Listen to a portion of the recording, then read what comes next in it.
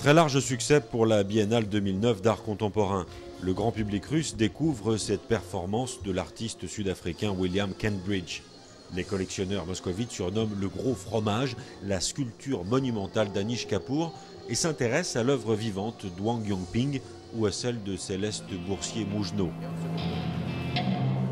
Les mandarins musiciens de l'artiste français se posent sur des guitares électriques et produisent des accords aléatoires.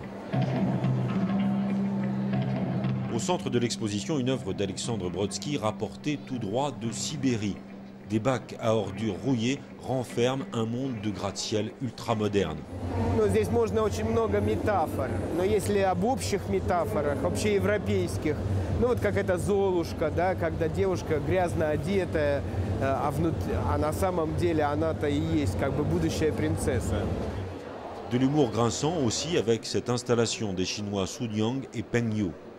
Euh, c'est présenté d'une manière euh, qui est à la fois humoristique et en même temps euh, qui, est cette espèce de mouvement perpétuel comme ça avec ces êtres qui, qui, qui, qui sont sur le point de se rencontrer et qui ne se touchent jamais.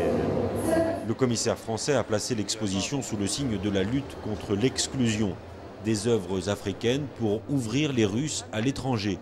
L'intention est noble, mais l'objectif n'est pas atteint. Pour nous les Russes, l'Afrique c'est un conte de fées. Cela n'a rien à voir, ce n'est pas notre autre, disons. Nous avons beaucoup d'autres, par exemple euh, les républiques de Caucase, la Tchétchénie, les républiques de l'Asie centrale. Euh, il y a des relations sociales assez difficiles. Non, en montrant un artiste d'Afrique, il ne fait pas le public russe aimer le Tadjik euh, qui nettoie les rues. En marge de l'exposition principale, le galériste Marat Gelman présente des œuvres en forme d'hommage à l'arte povera italien.